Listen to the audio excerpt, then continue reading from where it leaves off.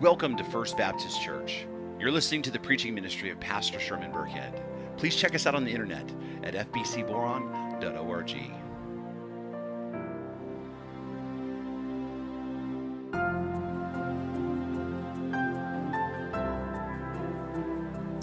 So, Romans chapter 16, beginning in verse 1.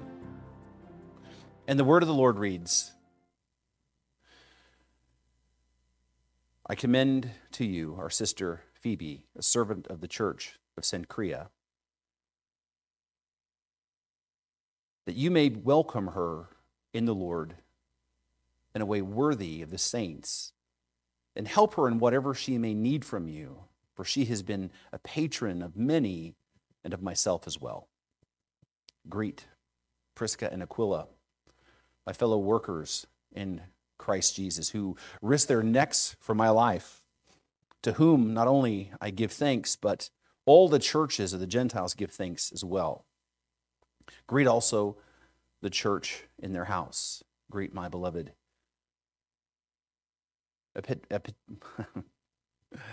Epanetus, who was the first convert in Christ in Asia. Greet Mary, who was who had worked hard for you. Greet Andronicus and Junia, my kinsmen and my fellow prisoners.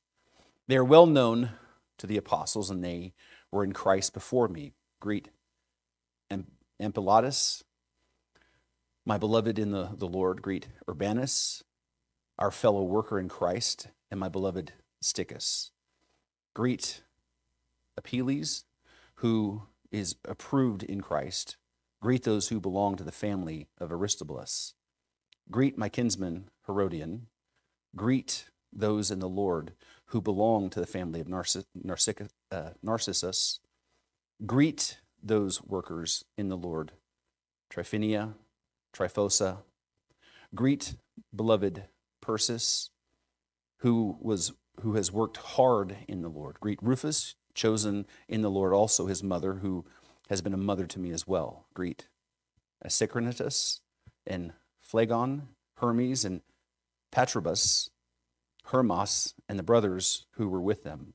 Greet Philologus, Julia, Nereus, and his sisters, Olympas, and all the saints who were with them. Greet one another with a holy kiss. All the churches of Christ greet you. I appeal to you, brothers, to watch out for those who cause divisions and create obstacles contrary to the doctrine that you have been taught. Avoid them, for such persons do not serve the Lord, but their own appetites, and by smooth talk and flattery, they deceive the hearts of the naive. For your obedience is known to us all, so that I rejoice over you. But I want you to be wise, so to do so to what is good, and innocent as to what is evil. The God of peace will soon crush Satan under their, your feet. The grace of the Lord Jesus Christ be with you. Timothy, my fellow worker, greets you. So do Lucius and Jason and Sopater, my kinsmen. I, Tertius, who wrote this letter, greet you in the Lord. Gaius, who is host to me, and the whole church greets you. Erastus, the city treasurer, and our brother Quartus greet you. This is the word of the Lord. Two more. Two more sermons, and we are finally finished with our walk through the letter to the Romans in our series titled The Power of the Gospel. And it all began with Paul declaring the truth that we a truth that we all hold so dear. And the truth is simply this the gospel is the power of God to save everyone who believes, and that the righteous will live by faith. The gospel, the most important and beloved subject in all of the Christian faith. And Paul writes this letter to the Romans to not only prepare them for his arrival, but to impact for them the most complete exposition of the gospel. And we, and as we've said, we know what we know about the gospel really because of, of this letter here. We understand the gospel as well as we do because of what Paul has written here in this letter. And it's the foundation of our faith. The gospel is the foundation of all that we believe, and it is the foundation of our unity in Christ. In chapters 1 through 11, Paul explains what the gospel is the bad news that we're separated from God because of our sin, but it's also then the good news that we can be reconciled to God through faith in Jesus Christ and his finished work for us. Paul then explains the blessings that the gospel gives to those who believe peace with God, grace to live, and the love of God poured out into our hearts. And then he tells us how the gospel works that the truth is that we were born into sin because of Adam, but we, because of Christ, can be set free from sin and the wrath of God. And he gives us then assurance of all of our hope in the gospel. He tells us that there is no condemnation for those who are in Christ Jesus, and that he assures us that nothing can separate us from the love of Christ. And then from Romans 12 through 15, Paul explains what life ought to look like for those who are trusting in Christ. We are to offer our entire lives to Him as a living sacrifice. And we are to not allow ourselves to be conformed to the world, but instead to be transformed by the renewing of our minds. And practically speaking, we are to live as good neighbors towards those around us and as good citizens within whatever country we might reside and we are to live unified in the community of faith, which is the church. And even more specifically, we are to love each other and to serve each other and to endure each other's shortcomings. All of this is for the glory of God. And all of this is pointed towards the mission that we are all called to, which is to redeem the lost. And then last week, Paul helped us to see that we're to trust in God's sovereignty and we're to walk in faith as those who have been transformed by the power of the gospel. But this week, Paul begins to wrap up this letter. And what I want you to see is that Paul makes a point to remind us of the unity that we have in the diversity of the body of Christ. But then he also reminds us that this unity must be built on the truth of the Christian faith. We must be unified, even though that we're very different from one another in many respects. But what we have in common is the gospel that we all cling to. And so, looking at chapter 16, Paul writes, I commend to you our sister Phoebe, a servant of Cenchrea, that you may welcome her in, in the Lord in a way worthy of the saints and help her in whatever she may need from you. For she's been a patron to many and of myself as well. The thing that that we know is Paul plans to visit Rome, but he can't go at this moment. And so he takes this letter and he gives it to Phoebe and sends her off with it. And the first thing that, that I want you to see is that he calls her sister. And this is important because one of the things that often is ignored in our culture, especially of its criticism of the Christian faith, is that it is the Christian faith, it is Christ and his church that has elevated the status of women throughout the entire world. The truth is that at one point, at this point in history, that women in the Roman culture and in the Jewish culture were seen, you know, seen as property rather than people. They were seen really as something to own. And they weren't even trusted or even valued the way that men were. But here, Paul not only trusts Phoebe with this important letter, he makes a point to call her sister and lets the Romans know that she's important to him and he expects her to treat her like family. And so he acknowledged her worth, he acknowledges her work and the contribution to the mission of Christ. He even calls her in the Greek a deaconess, a servant. And this is not unlike the word that is used for deacon today. Now, some will say that Phoebe is an example of pastoral leadership in the church, but the context really doesn't warrant that. And given Paul's clear teaching on the qualifications of elders and pastors in 1 Timothy, saying Phoebe was an elder or pastor is to really kind of take this out of its context and really miss, I think, the important point of, of our, our unity together. But that notwithstanding, Paul does make it clear that the Christian faith is made up of and held together by both men and women. And contrary to what people say today, the Christian faith has not been oppressive to women, but rather is the basis of women being seen as equals to men in all reaches of the world and in almost all cultures. Even Paul more emphatically declares in Ephesians chapter 3 verse 28, he says, there is neither Jew nor Greek, there is neither slave nor free, there is no male and female, for you are all one in Christ. And so Paul commends Phoebe to the Roman church, and he sends her away with his greetings, greetings towards many people in Rome. And this greeting section extends from, from verse 3 all the way to 16. And, and because of this, we realize that there are a lot of people that, that Paul actually knew who were in Rome at the time, either through meeting them personally, like Priscilla and Aquila, or hearing about them from other Christians. And there are several reasons why Paul would, would, would, you know, would basically know so many Roman uh, citizens, even though he'd never been to Rome. First was the fact that Rome was the capital city. As, as we've heard before, all roads lead to Rome. Rome was the capital city of the entire Roman Empire, and that meant millions of people traveled to and from Rome. And everybody had met at least some people or known some people that had lived there or visited there. Secondly, in this stage of history, we know that is known as the Pax Romana or the Roman peace for all of the negatives that are associated with the Roman Empire. One of the things that they that the Roman Empire did bring was peace to the region. And so this was a time of relative peace throughout Europe and Asia Minor, and people were free to travel and to, to go long distances safely and relatively quickly because of the transportation networks there.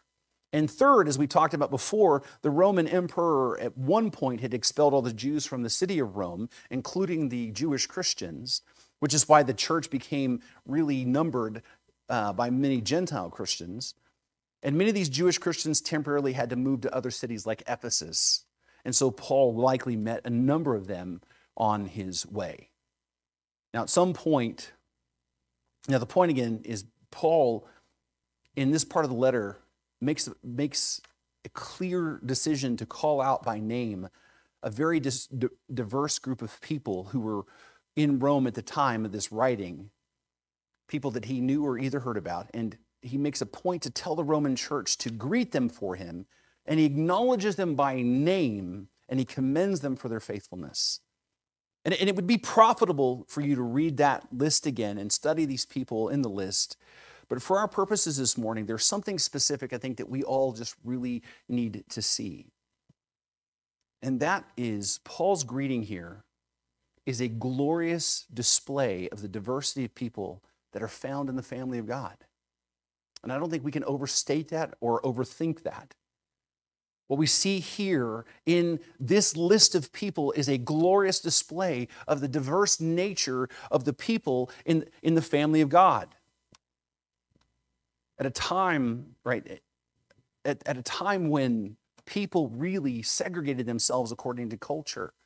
People, even like today, people segregated them themselves over a number of reasons. But what we see here is the family of God is made up of people from distinct walks of life and backgrounds.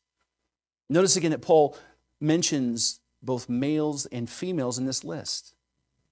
And again, I can't overstate that at a time when women's testimony in court was seen as unreliable. At a time when women were seen as property, Paul sends his greeting to several women and gives them credit for their faithfulness and expresses his appreciation for their work. The Christian faith has elevated women because they were valued members of God's family, equals in the family of God. Next, notice the diversity in ethnicity. When Paul reads this list, you'll discover that the family of God is made up of, from people from very different ethnic groups and very different cultures. In this list, you'll find Semitic names like Mary. You'll find Greek names as well as Latin names. And the point I want us to embrace is our unity in Christ supersedes all of our other identities. In fact, if there's one thing that you'll that, that I would encourage you to take out of here and walk with out of here and remember is that our identity in Christ supersedes all of our other identities. And this is important and relevant, especially today, because we live in a world and a culture that seeks to divide us in many ways, but especially along the lines of skin color. The, the, the woke critical race theory movement seeks to divide us according to the melanin count in our bodies. Right? And let's be honest. Right? We see, we see it almost at every level. There is an overemphasis and an overfocus on the color of people's skin. But our identity is not in how dark or light our skin is, it's in Christ. Voddie Baucham, who is a preacher who has profoundly influenced my ministry, and if you've never listened to him before, then you've not really heard, I would say, excellent preaching if you haven't. Um, I would encourage you to just type into YouTube Voddie Baucham and listen to anything he said. But he's profoundly influenced my personal ministry. Uh, he's influenced my walk in Christ. I've heard him preach in uh, like in person multiple times. I actually kind of bumped into him, rubbed elbows with him in, in the, the hotel gym in Atlanta, Georgia. Super nice guy. Um, but he has said that he is one of the most hated men in the woke Christian movement, even though he himself has a very, very, very high melanin count. And the reason for that is because he makes it clear that he does not identify himself as a black Christian. He hates that label. He identifies as a Christian first and foremost, and the skin, the color of his skin is irrelevant for that end. As he says, we are all one in Christ. When you survey the scriptures, what you find is that God's plan for his family, his elect, is to be made up of people from every nation, tribe, and tongue, and skin color. We're supposed to be a diverse group of people united in a common faith in Christ. The next, what we see is the diversity of socioeconomics.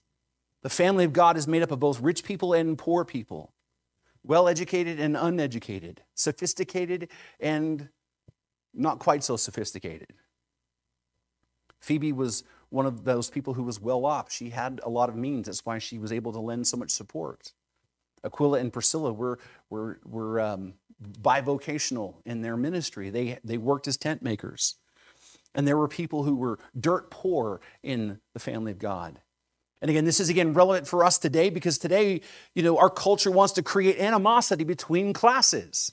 That's what we're, I mean, if you've not been paying attention, that's what they're talking about in, in almost every commercial and all the political ads. If you're rich, you're supposed to look down your nose at those who are poor as if they're beneath you. And if you're poor, you're supposed to despise and be jealous of the rich because they're rich and somehow they're oppressing you. But that is not what we see in the family of God. We see both rich and poor living together, serving each other, building each other up, and building up the body of Christ for the glory of God. We also see the diversity in, in the locations of the church. Paul writes this letter from Corinth. Phoebe was, was from the church in Cenchrea. I don't even know where that is. Aquila and Priscilla worked in Ephesus, and this letter is sent to the church in Rome. What we, what we can gather from this list is the body of Christ is a diverse group of people with varying backgrounds and ethnicities, cultures, and experience, and they're, they are, they are also from different places. And the thing I think that oftentimes we forget, or especially the American church forgets, is the church locally is within the walls, but the, the church universally is outside of the walls. And, and as, a, as a clear picture of that unity, um, Brother Ephraim is here today to come and worship with us, even though he's a part of another church family across the tracks. He's displaying his love for you as a congregation to come and do that. Because why? He understands that we are one family united in Christ. All of this diversity helps us to see the beauty of the glorious unity that's founded in the body of Christ unity that's founded on real love, as Christ said, that we're to love one another as I have loved you. By this kind of love that everyone else will know that you're my disciples. It's a love that's founded on respect, recognizing in one another that we are all made in the image of God. And because we are in Christ, we are all sinners saved by the grace of God.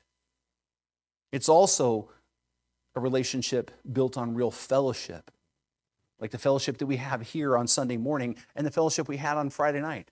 It was a blessing just to spend time with you all, even outside of here, to be able to talk and just, you know, get to know each other a little bit better and, and share a meal. It's also a unity built on affection. We really, truly care about one another. Now, Paul mentions a holy kiss here, which I think is a little far, okay? I mean, I'm okay with you if you don't you, you, if you don't want to kiss me and that I don't kiss you back, right? But we get the point. You know, handshake and a hug is perfect for that, right? Just so you know. So if you kiss me right here, I might look look at you really weird, okay?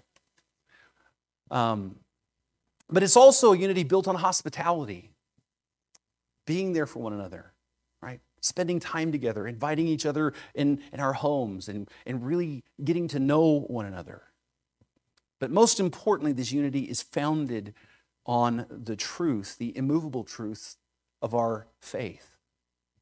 The fact is, our unity can only exist if the foundation we build that unity on is the common faith that we have in Christ.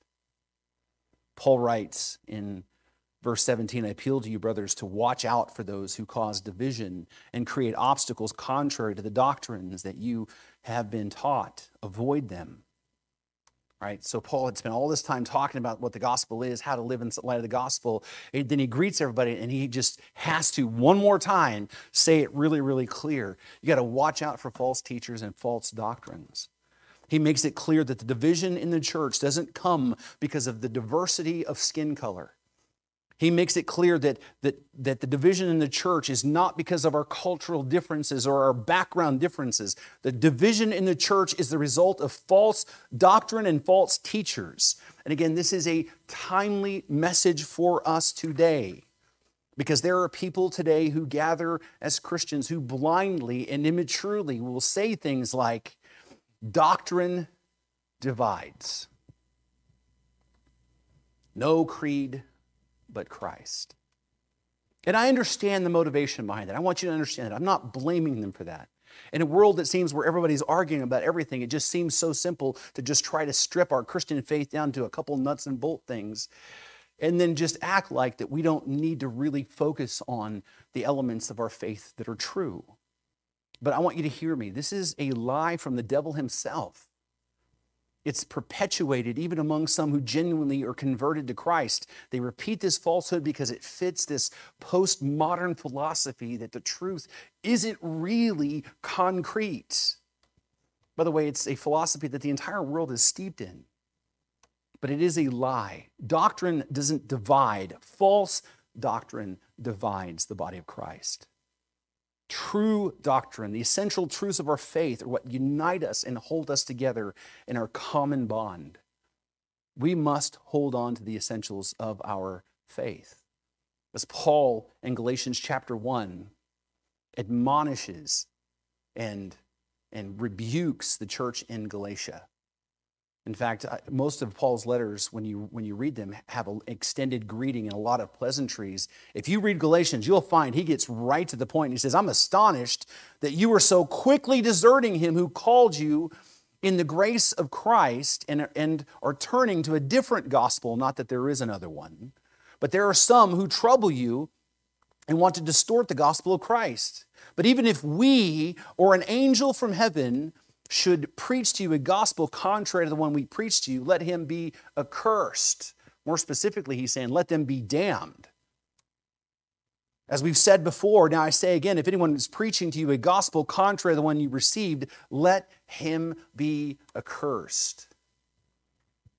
There is a doctrine that leads to life and is the basis of what unifies us together as a family. And we must hold these truths if we are to be in Christ and if we're to have any hope of being united together. Okay, Pastor, what are the truths then? It seems so many people have different competing ideas All right? How do we know what the truth is? Well, that's why the church from early on began to create confessions and creeds, is to very clearly tell us and to distill for us the essential things we need to believe. That's why the confessions of faith are so important. Confessions of faith take the whole of Scripture and then distill them down to clear, understandable doctrines for us to read and to study and to meditate on and then to ultimately agree with. And here at First Baptist Church, the confession that represents the bulk of what we teach here is the 1689 Second London Baptist Confession of Faith. And, and the reason why we lean on this so heavily is, first of all, because we're Baptists, right? But this confession is historic and it is built upon the Westminster Confession of Faith and built upon other confessions that go all the way back to the early church. And it connects us historically to the essential things that Christians have believed from the very beginning, things that have united the church together from the very beginning. Secondly, it is robust. Many churches adopt a very weak and oversimplified uh, statement of faith to appeal to the widest possible audience. But because they are vague and very general and not so specific, there is room for error. Our confession is very detailed and robust, giving us clear left and right limits, so to speak, into the things that we believe. And then the third thing is it's clear. The confession of faith, when you read it, you realize it's, it clearly expresses the essential things that we are to know and believe and to have assurance in to be part of the family of God. Now, short of reading this entire confession of faith this morning, I want to briefly just look at the essentials, the essential things that I think that we must hold to in order to be unified as a body of believers. And that begins, first of all, with the doctrine of the Word of God, the Bible itself. What we believe about the Word of God is essential to our unity. And there are four things I, I believe that the Word of God, that we ought to believe about the Word of God for us to be able to be unified in our faith.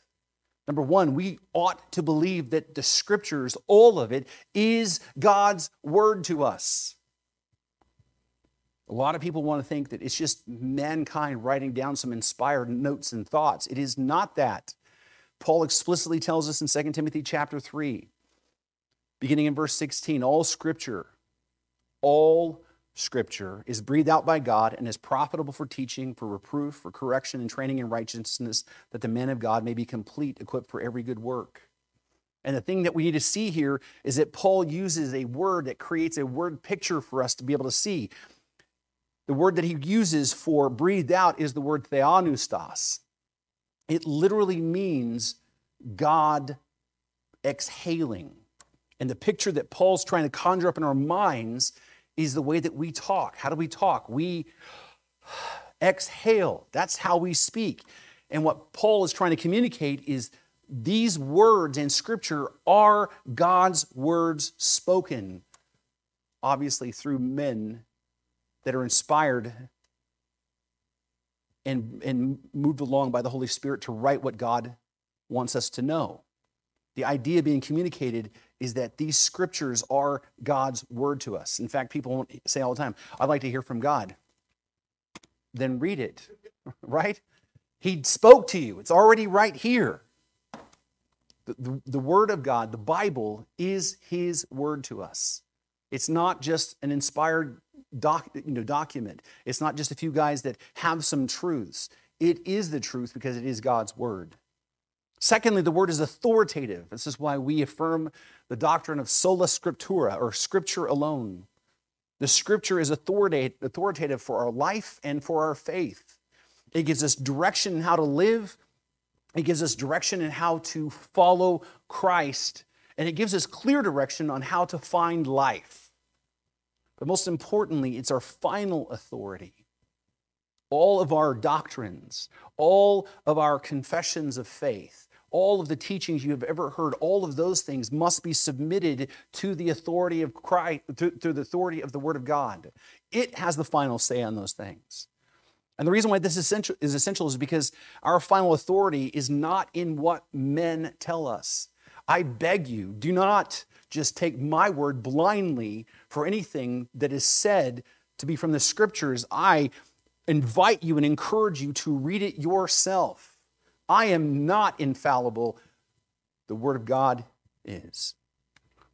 And so our authority is not some charismatic leader, it's not some church council. It's not our personal emotions or even our dreams. The Bible is our final authority on the gospel and salvation and the nature of God and how we're to live in light of the gospel.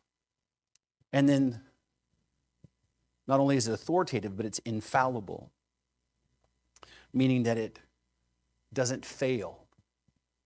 The Word of God never fails to accomplish what it, God is intended for it to accomplish. The Word of God is sufficient to do everything that God intends for it to do. And then the Scriptures are inerrant, meaning they are without error. The doctrine of inerrancy, we affirm, is that the Scriptures are inerrant in their original writings. And what we know by critical scholarship is what we have here is almost exactly what was written down um, in the original documents. And so we can affirm the inerrancy of, uh, of God's word. And this doctrine is, is, is important, but it is not very popular in our modern context because people today, because of their personal agendas, want to believe that, that some parts of this Bible aren't really true. And maybe Paul got some things wrong, or maybe Moses got some things wrong. People look for loopholes to be able to justify standing in contrast to the clear teachings of the scriptures. But inerrancy is essential to our faith because if the word of God is not inerrant or but it's only inspired in some way, then how can you ever really fully trust it? Because who gets to decide then what part of it's true and what's not true? We stand on the truth that the Bible is inerrant, and I believe that's an essential to our faith. The second category of doctrines that are central is the nature of God Himself. You will never understand yourself. You will never understand the gospel. You will never understand your need for Him unless you actually have a picture of who God is. What we believe about God is essential to our faith. And among the things that, that we must believe is the fact that there is only one true and living God. If there is one thing that you will see throughout scriptures, is that repeated theme. Repeatedly, scriptures bear witness to the fact that there's only one God, and his name is Yahweh. Your Bibles you know, translate that as, as the Lord. But it means that all other gods or supposed gods or false gods, whether they're the Roman pantheon of gods or the idols that people worship or the billions of Hindu gods, there is only one God, and anyone who denies that is not part of the faith and not part of the family of God we also must affirm the essential attributes of God that God is spirit and not material. God is not a material being, in spite of what many, even in our own community, might say about him. God is something altogether different from us. He is not like us, which leads to his holiness. The word holy means to be set apart, but what it really means is God is absolutely, in every possible conceivable way, unique, and there's none like him. We sing that all the time. There's none like you, because only he is self existing, only he is eternal. We don't even understand what that means, and only he is sovereign.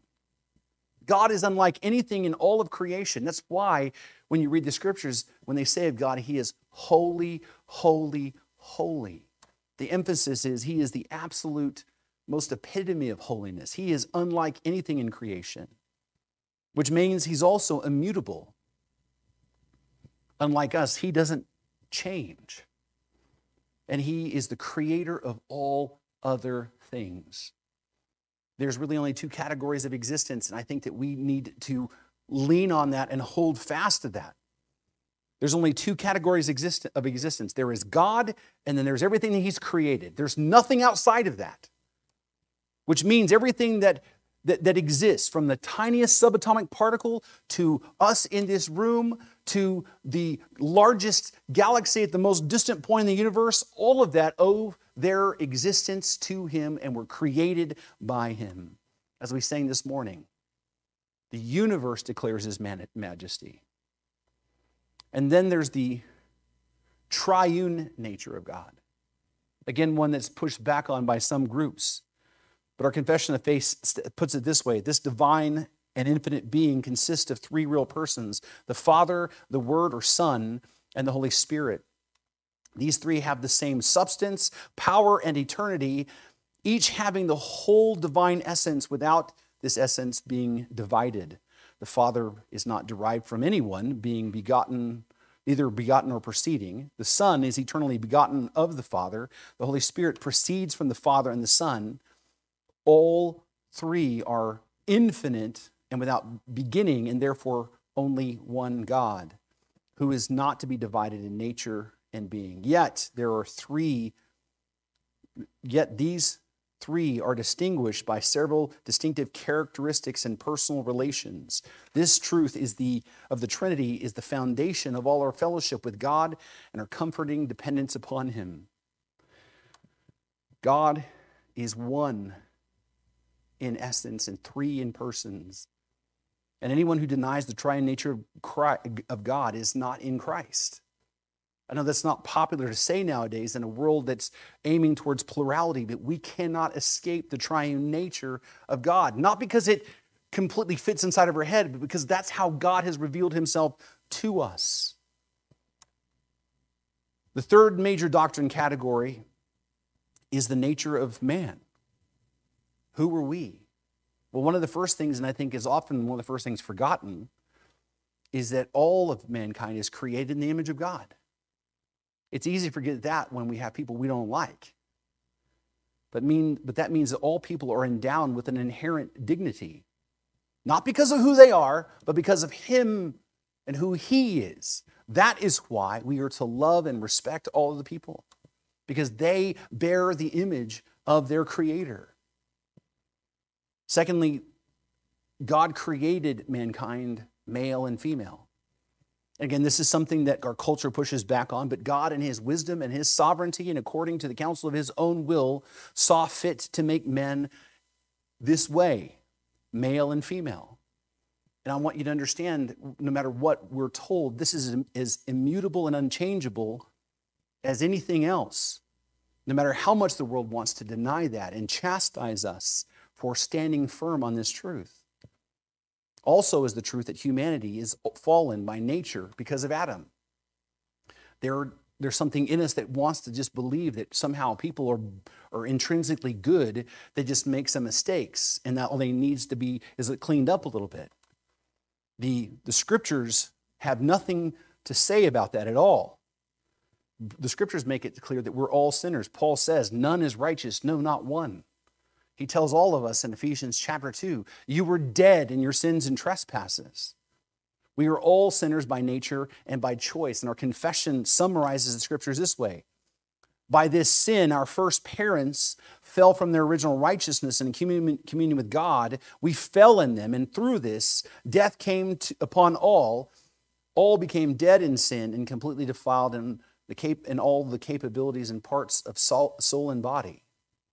It's not that we're not capable of doing good things, it's just that everything that we are is tainted by sin. Our minds, our bodies, the way we think, the way we reason, even our emotions.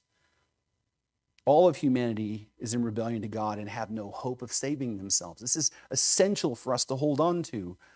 Anyone who denies this really doesn't understand the gospel. The fourth category of doctrine that we need to be unified in is the person of Christ. We must affirm some important things about him. First of all, his full divinity.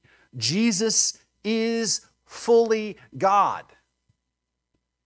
This, I know that some people really struggle with that, but the scriptures make it clear.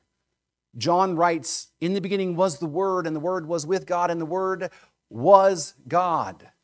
Jesus himself used the term I am to make very clear that he is God in the flesh. He even told his own, his own disciples, You asked to see the Father, but here I am with you. You've not, you're going to tell me you haven't seen the Father.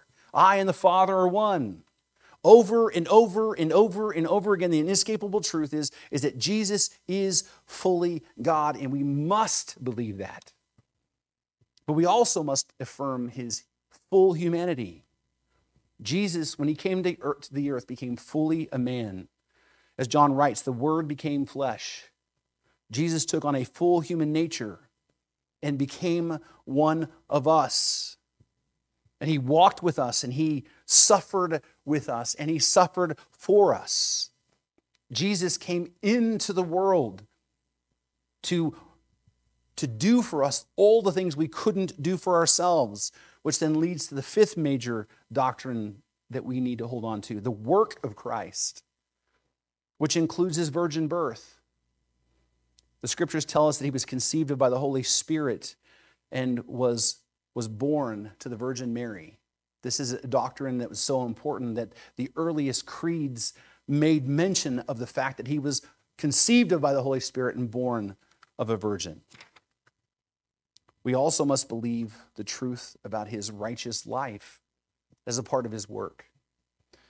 See, the thing is, is we are, we, we are as we believe, saved by grace through faith.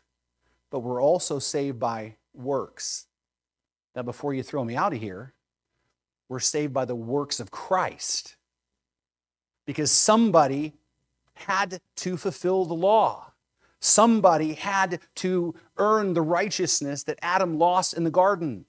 Righteousness must be fulfilled, and Christ lived the perfect, righteous life that's required of us that we couldn't live and did for us all that we couldn't do as our federal head, offering us a righteousness we could never earn on our own. And then we must believe in his atoning death. Christ bore the wrath of God that's reserved for all of us. He shed his blood to make atonement for our sin. And this is important because he didn't simply die as an act of love in order to pers- persuade us to come to him. I cannot, for the life of me, fathom why people want to diminish the sacrificial atonement and, and make what Christ did simply just an act of love as a sacrifice that might just melt our hearts so we might just believe. No, what he did on the cross accomplished something, it satisfied God's justice and wrath. That's why we sing in Christ alone. Till on that cross, as Jesus died, the wrath of God was satisfied. Christ's atoning death is something we must believe in, but we also must believe in his literal physical resurrection. His lifeless body that was brutally destroyed was raised to new life. His resurrection was not something just a spiritual thing that happened, as some Gnostics would, would, would tell you. The hum, his human body was restored to new life. And this is essential to our faith, but also essential to our hope because it's our hope as well the resurrection. And the last thing about his work is his intercessory work at the right hand of the Father. When Christ ascended to heaven, he didn't just stop working. He is still actively working, interceding for us right now, as the scriptures bear witness. The sixth major doctrine that we need to hold on to and believe is the hope of salvation, which is by grace alone. Grace alone. Because God alone is the one who saves. He does not save us because somehow, some way that we've done something to be worthy of his salvation. He doesn't save us because, because somehow we did something funny that made him laugh. He saves us simply because of his grace. He decided by his grace, even though that we don't warrant it, he decided to save us because of his own sovereign choice. And that we're saved by grace through faith alone. Paul writes, For by grace you have been saved through faith. This is not your own doing, it's a gift of God, not the result of works, so that no one may boast. Truth is, we must all exercise faith. And without faith, we cannot be saved. But that faith itself is a gift that God has granted us.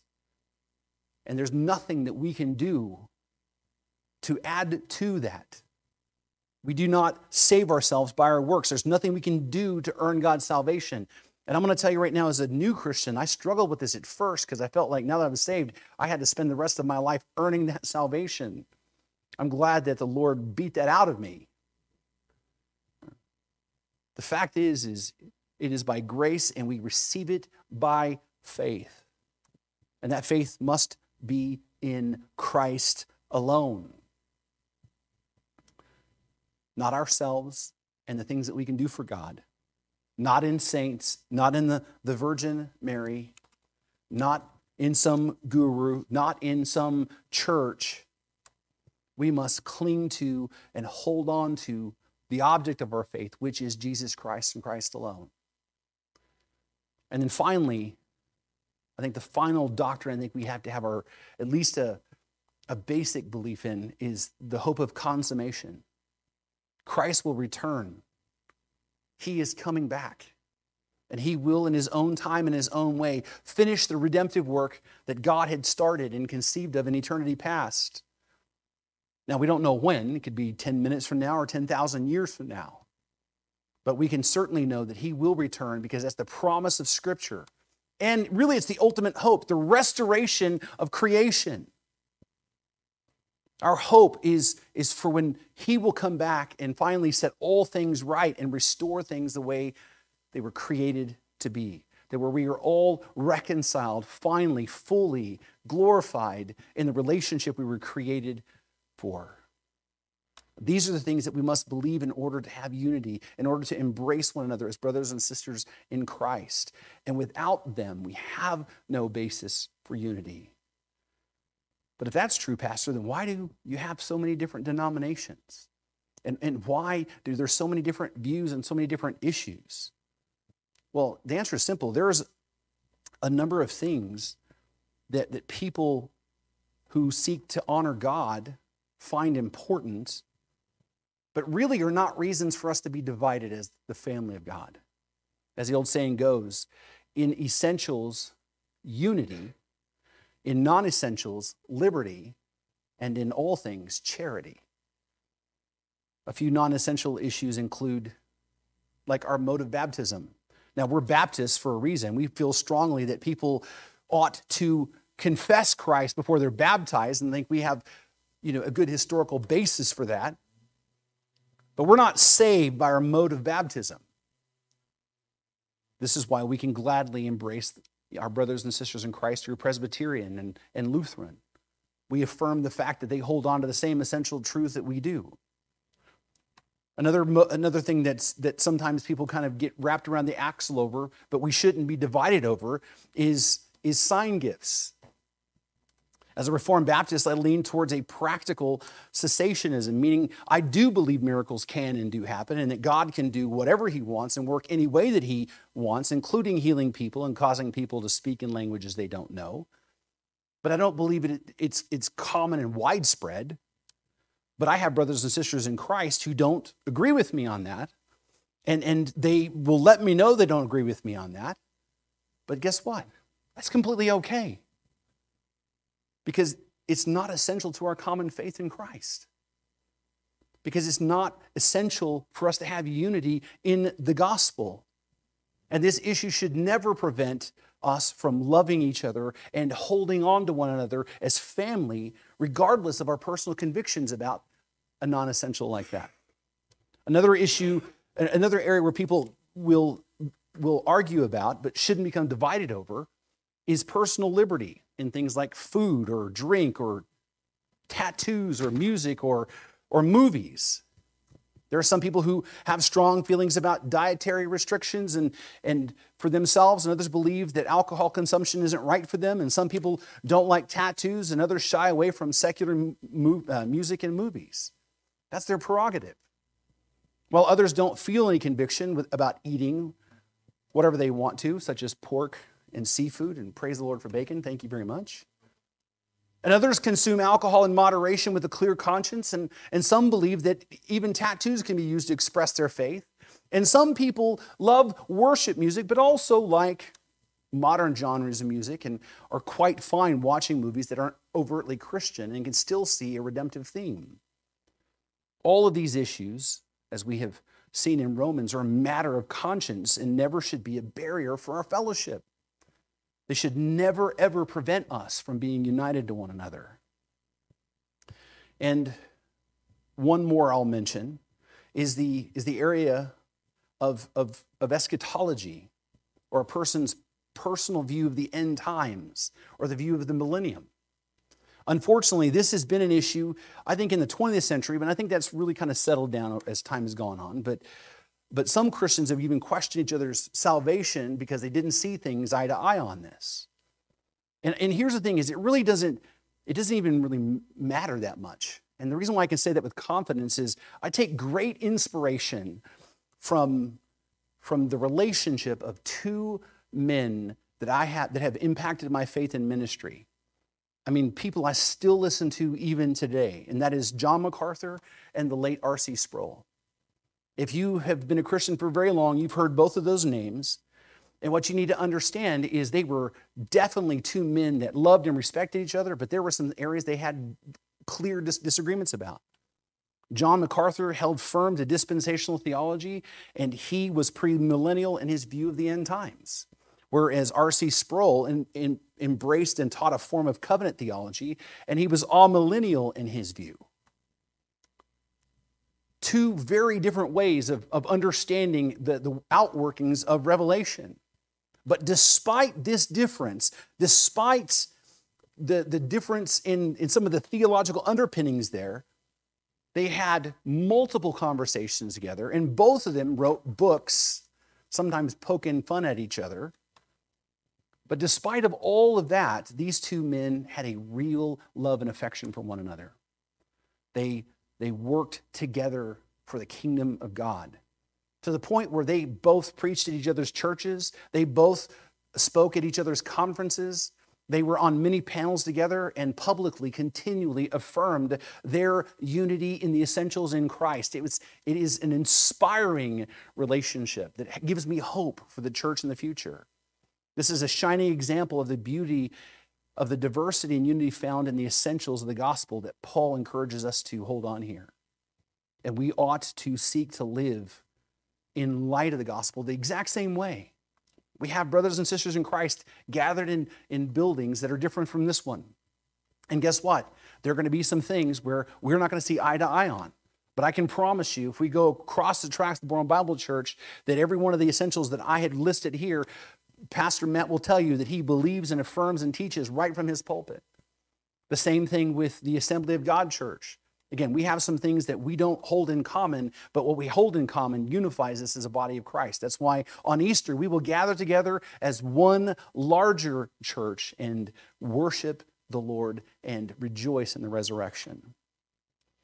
This is the noble call that we are called to to show grace and love to one another, especially our brothers and sisters in Christ.